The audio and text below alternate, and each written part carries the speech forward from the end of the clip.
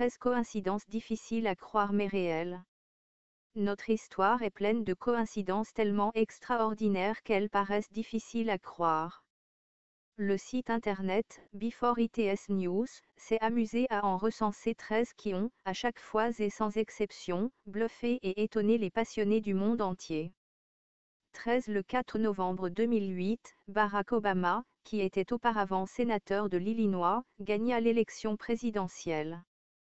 Le lendemain, les combinaisons gagnantes de la loterie de l'Illinois étaient 6-6-6.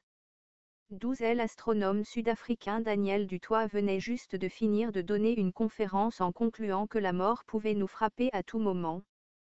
Suite à cela, il s'assit avant de manger un bonbon. Hélas pour lui, il s'étouffa mortellement avec. 11 Lors de la production du jeu d'Ossex, sorti le 22 juin 2000, l'équipe chargée du développement oublia malencontreusement d'ajouter les tours jumelles du WTC dans la ville de New York.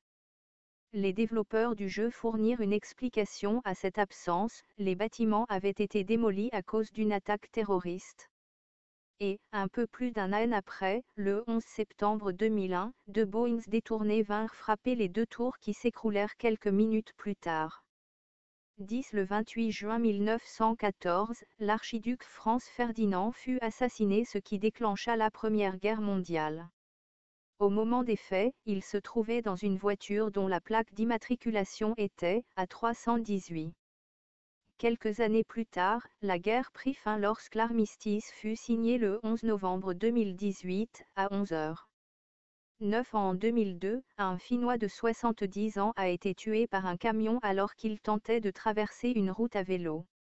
Deux heures plus tard, son jumeau identique a été tué exactement dans les mêmes circonstances, à moins d'un kilomètre et sur la même route. 8 En 1883, Henry Zigland décida de rompre avec sa petite amie de longue date. Le cœur brisé, cette dernière se pendit. Son frère jura alors de la venger et traqua Zigland. Quand il le trouva enfin, il visa sa tête et tira. Zigland tomba au sol. Le frère de la jeune fille, persuadé qu'il s'était vengé comme il se devait, se suicida avec la même arme. Il ne savait pas que Zigland allait survivre, car la balle avait simplement effleuré sa joue et s'était logée dans un arbre. Plusieurs années passèrent, et Zigland tenta d'abattre l'arbre qui avait accueilli la balle.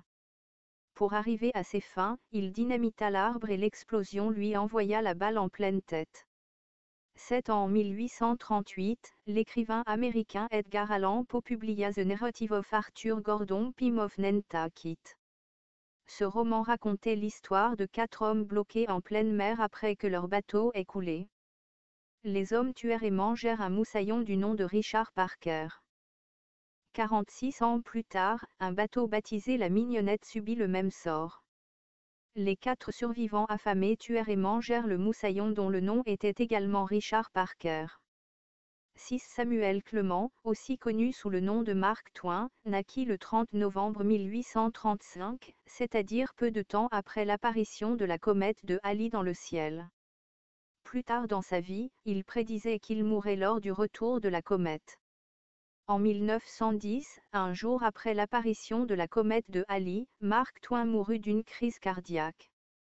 5 Le 20 septembre 1911, le paquebot transatlantique RMS Olympique de la White Star Line rentra en collision avec un navire de guerre britannique appelé HMS Hawke. L'Olympique souffrit de graves dommages à la coque mais personne ne fut tué ou gravement blessé. Sept mois plus tard, le naufrage du Titanic allait devenir l'une des catastrophes maritimes la plus meurtrière, qui coûta la vie à plus de 1500 personnes. Le 21 novembre 1916, tôt dans la matinée, le plus gros paquebot de la White Star Line, le HCMS britannique fut secoué par une mystérieuse explosion. 55 minutes plus tard, il coula dans la mer Méditerranée. Au total, 30 personnes y perdirent la vie. Ces trois catastrophes successives possèdent des points communs très surprenants.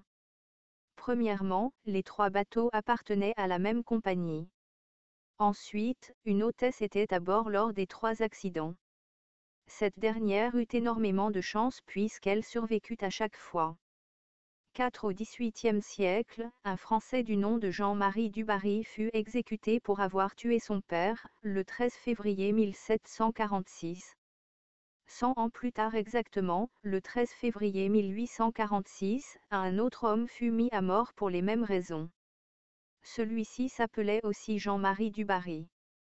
3 En 1872, un baron français du nom de Rodemire de Tarazone fut tué par Claude Volbonne.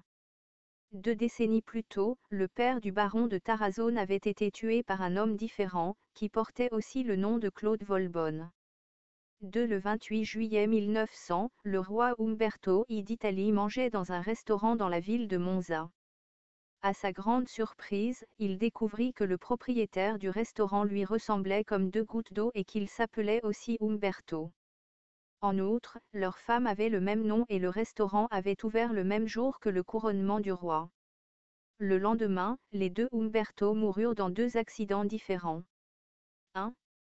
Le 26 novembre 1911, trois hommes furent accusés du meurtre de Sir Edmund Berry et furent rapidement pendus à Grian-Berry Hill dans la capitale londonienne. Les noms des trois hommes étaient respectivement Green, Berry et Hill.